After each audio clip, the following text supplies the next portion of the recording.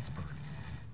It's a special night here at ABC6. Our sports director emeritus, Ken Bell, is set to become a Hall of Famer. The Rhode Island Radio and Television Hall of Fame inducting Ken at a banquet that's underway right now. Ken is a Hall of Fame broadcaster and person. It's been impossible to replace Ken after he retired, but the man who's certainly done his best to, Nick Coit, honoring our friend and yours, Ken Bell.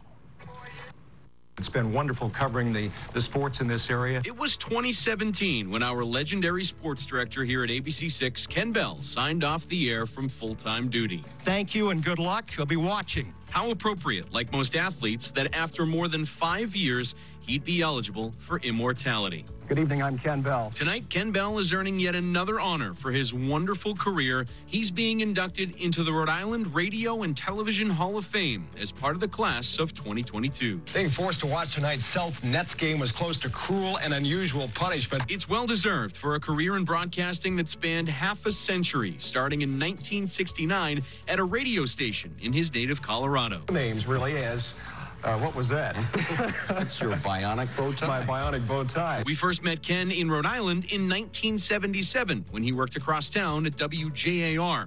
And after a brief detour in Milwaukee, Ken landed back at the place he'd call home for 35 years, Channel 6 in 1982. Hey, mamma mia, it's the new Pizzitola Center. Over the years, Ken followed some of the biggest stories, moments, and names you can think of in sports. Hey, New York, this is the World Series. I mean, in New England, this is big. This is really big. But his greatness always lied in his local sports coverage, following the PC Friars, Rhody Rams, Brown Bears, Bryant Bulldogs, and all the high schools in the area. Here's a guy that demands great discipline, and you guys come out and take it. A New England Emmy winner and Silver Circle honoree, Ken became a survivor in sportscasting, picking up a camera and doing it all himself in the later years. Ken adapted. Ken Bell, ABC6. And the four time NSMA Rhode Island Sportscaster of the Year always carried himself with the same grace and passion every day on the job. When you do treat people with respect, they seem to respect you. So, congratulations to our friend Ken Bell, a Rhode Island icon, who tonight takes his rightful place in the Hall of Fame. That was really well done by Nick, first of all. But what a gentleman Ken Bell is. I had the privilege of interning with him. He helped me get my first job. Uh, I worked with him as a colleague, had the, the honor of putting together the, the story when he retired. A class act through and through.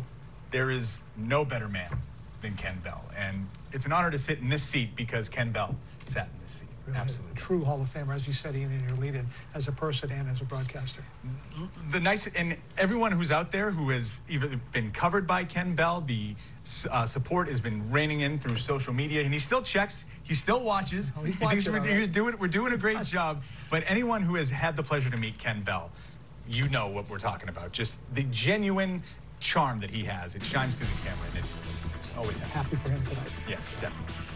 Thanks so much for joining us. We'll see you back here at 11 o'clock.